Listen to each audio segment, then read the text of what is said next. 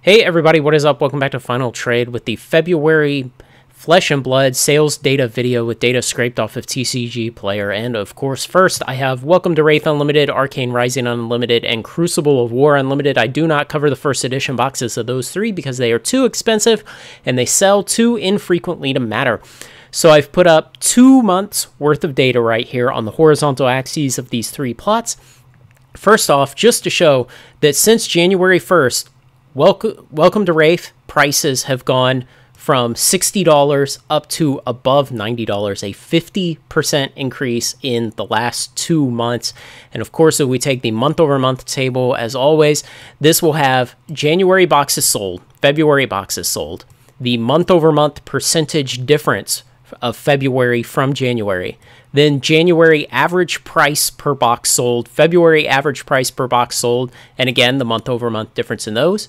Then I multiply those two together, and get the January revenue, the February revenue, and the month over month difference in revenue.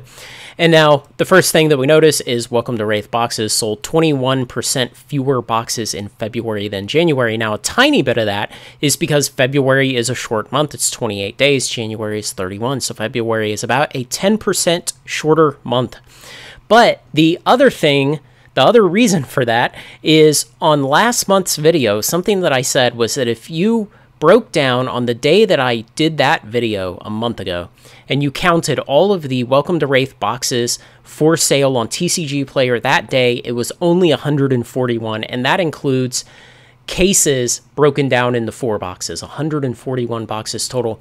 Today before i recorded this i went out and looked. There are 150 for sale today so in the last month it went from 141 to 150 at the same time it sold 265 so there are nine more on the market today than there were a month ago, and 265 sold, which means that 274 boxes came onto the market in the last month. And that's something that I will occasionally touch on on this channel is that you cannot simply take the number of boxes available for sale to mean much. And in January, of course, we had sold 336 boxes, and at the end of the month, only 141 left on the market. And with the price rising, that coaxed a lot more boxes out. 270 plus boxes were pulled onto the market in the month. And again, the reasoning for that, the price has gone up 25% just in the month, 50% overall for the year. Now, Arcane Rising sales were up 31% on a per box basis, and the price was essentially flat.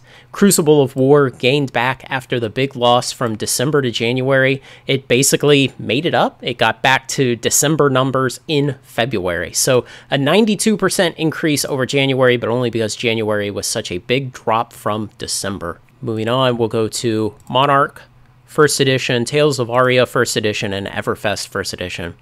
And again, just two months of data out there. And if we go to the month over month table, what we'll see is Monarch First Edition sales were up by 156%. And so when I keep pounding the table and I say that, you know, people are making too big of a deal of the Monarch First Edition print run in the long run, the 125,000 boxes. The size will not matter. They keep getting consumed. Every month they fall into diamond hands, they get opened, they get otherwise attrited from the market. And as we saw, a huge increase in boxes sold in February over January. Tales of Aria First Edition, similarly a 32% increase, and Everfest First Edition would have been probably flat or slightly positive if not for the shorter month of February compared to January. And the prices of all three were relatively flat. And we can take a quick look at Monarch First Edition versus Monarch Unlimited. And of course, one thing we always notice here between these two is this approximately 30 to $35 price difference that has been holding very consistently for a long time. And what it means is that uh, fewer people are willing to jump that gap. And so the the difference in sales between first edition boxes and unlimited boxes is smaller than what you're going to see for Tales of Aria. So the Monarch Unlimited boxes up 13%. That's not really much to write home about.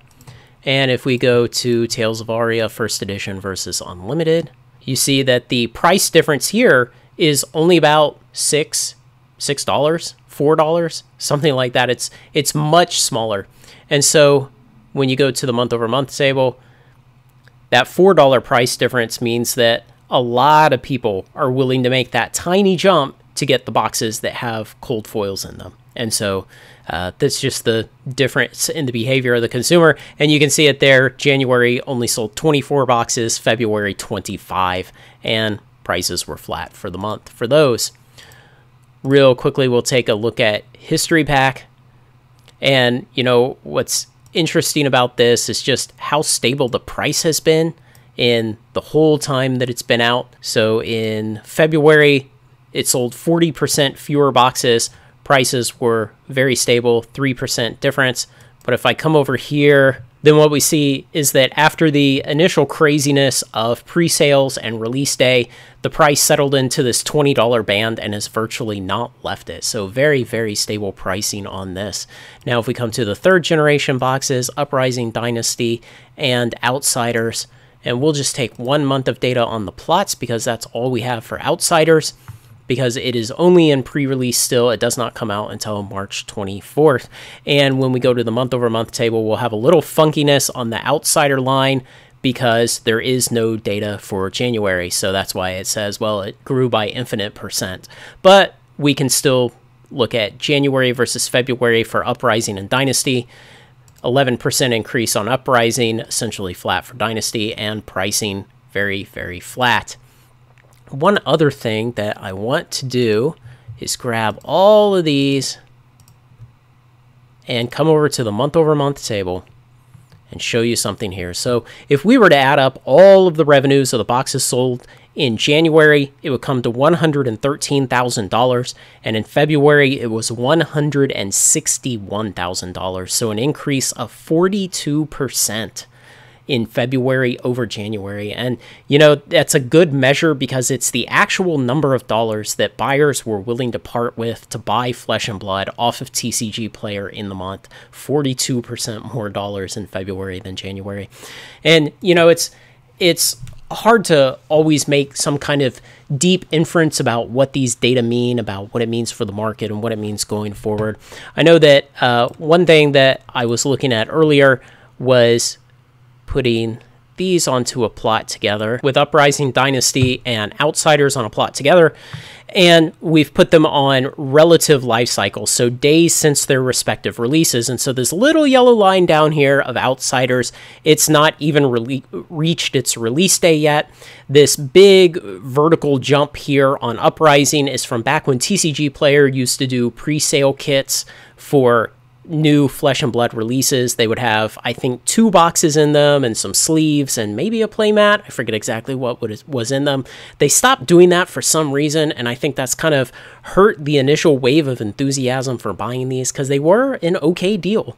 Also, this set, Uprising, came out last June when there still were some fair weather investors hanging around even after the Monarch First Edition print run size release, and before the cruel summer had made them all go away to pursue different hobbies. And so it'll be interesting to see in this next month as the yellow line of Outsiders gets closer and closer and just barely passes its release date at the end of March what it does. If it can thread in between these two, I think that's probably where it's going to land. I'm hoping it will do better than Dynasty, and I don't think it'll do better than Uprising just because, again, the support on pre release kits is not there, and the fair weather investors have gone away. So I expect that in a month when we come back, this yellow line of of outsiders will be somewhere in this range in here, and it'll be about one week post release at that point. And just briefly, I want to come back to Welcome to Rathe, Arcane Rising, and Crucible of War, and plot those up with the whole 14 months of data that we have here. And, you know, we see a lot of history here, we see a lot of collected data, but something to really point out is the boxes disappearing. In the last 14 months, 3,000 boxes of Welcome to Rathe Unlimited have disappeared off of TCG Player, a little over 2,100 boxes of Arcane Rising, and nearly 1,500 boxes of Crucible of War. And there's this there's this weird thing that happens in the TCG community where people kind of forget again and again that when a product goes out of print, the supply dwindles until the it eventually gets tight and then the price goes up, it becomes harder to get, and the price goes up and up and up. And people have this sentiment that, well, I'll just buy it tomorrow, I'll just buy it tomorrow, I'll just buy it tomorrow. And, you know, I spent a lot of 2022 telling people that these three products were very underpriced. Finally, the market has caught up to that. And like I said, in the last two months, Welcome to Rathe has gone up in price 50%. And in the couple months preceding that, Arcane Rising saw a pretty good leg up, maybe 30%.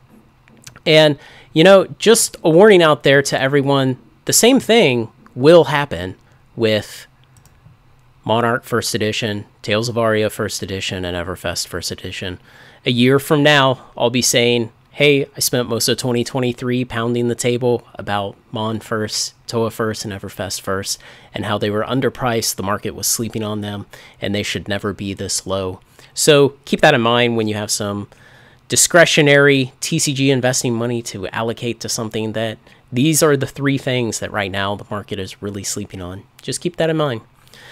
Otherwise, let me know what you think. Other data sets I could use, other things you'd like to see me explore, questions you have.